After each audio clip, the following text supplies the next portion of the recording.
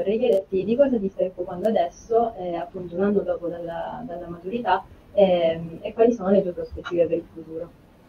Ma allora, io dopo la maturità eh, mi sono presa un anno sabbatico perché ho deciso di curarmi e adesso l'anno sabbatico è finito e sto iniziando a, senza troppa fretta perché comunque cerco di non stressarmi troppo. Eh, sto cercando di dare delle ripetizioni, per ora ho tutta la settimana piena e questo mi rende molto felice perché finalmente per la prima volta riesco a fare magari anche qualcosa senza chiedere aiuto ai miei genitori, magari voglio fare qualche regalo, voglio prendermi qualcosa per me e non chiedo nulla a loro. E per me è una grandissima soddisfazione, veramente. E in più sto collaborando con la ricerca dell'ospedale presso il quale sono stata ricoverata proprio per i disturbi alimentari, quindi ogni tanto mi chiamano per fare qualche test oppure per fare degli elettroencefali e per aiutare appunto i medici a capirne un po' di più, perché comunque fin quando non ci passi puoi studiare quanto vuoi, però di fatto è un po' difficile capire cosa entra nella testa di una persona che soffre di disturbi alimentari. Eh, e poi ho diciamo in mente tanti tanti progetti eh, che non dico per scaramanzia, sono molto scaramantica su queste cose e, e, poi diciamo vorrei iscrivermi, fare il corso per assistente alla poltrona e poi odontoiatria. E nel tuo caso i tuoi professori come si sono comportati? Se ne sono accorti del fatto che tu ehm, hai sofferto di questi problemi, ti hanno aiutata? Un po' la tua esperienza per quanto ci Allora, io ho avuto un'esperienza super positiva con i miei professori, tuttora li sento tutti, dal primo all'ultimo, li vedo, e per me sono stati veramente grandiosi perché io all'inizio non sapevo di stare male, pensavo di stare bene, infatti quando mi hanno per esempio proposto il ricovero la cosa che io ho detto è stata ma cosa, cosa ho fatto di male? Ho perso solo un paio di chili, peccato che poi non erano un paio ma erano 20. E i miei professori si sono accorti ancora prima di me che io stavo male. Mi ricordo che inizialmente si sono avvicinati molto piano, inizialmente c'era la DAD per tutti e mi ricordo che magari alcuni professori mi dicevano Diana ti puoi fermare un attimo dopo la lezione che ti devo dire delle cose? E magari mi, mi dicevano come stai? Ti vedo un po' più spenta, come sta andando? Oppure delle osservazioni tipo Diana hai, hai sempre la tapparella abbassata perché eh, poi sono arrivate le telefonate sempre da parte dei miei professori, telefonate in cui i professori erano preoccupati Diana, io sono preoccupata, non sei più quella di prima, che cos'hai? Cosa ti sta succedendo? Stai mangiando? Stai dormendo?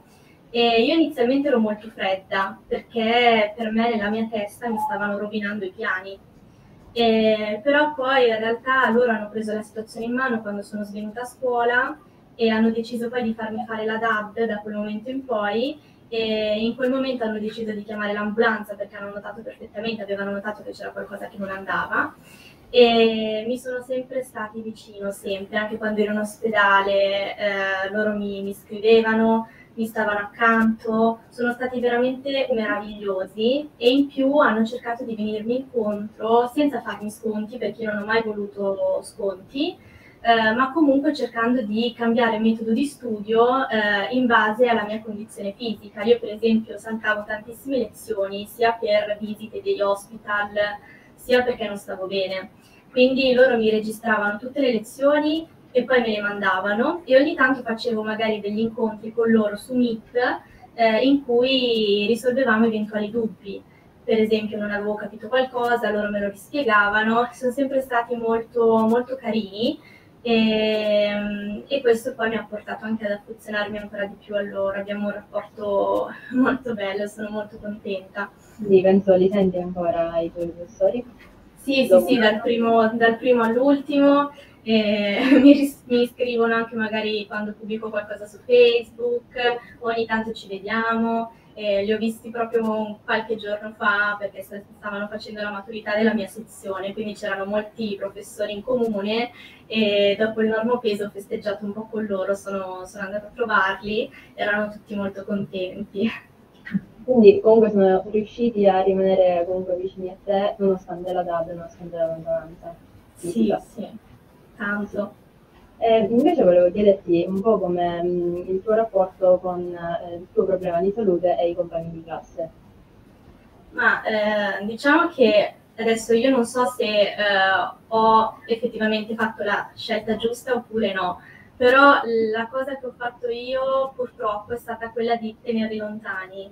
Mi rendo conto che eh, lì non stavo bene, forse volevo, non lo so, non avevo neanche realizzato bene che cosa avessi, quindi inizialmente mi scrivevano perché comunque loro erano in presenza, io ero in DAD, due domande se le facevano.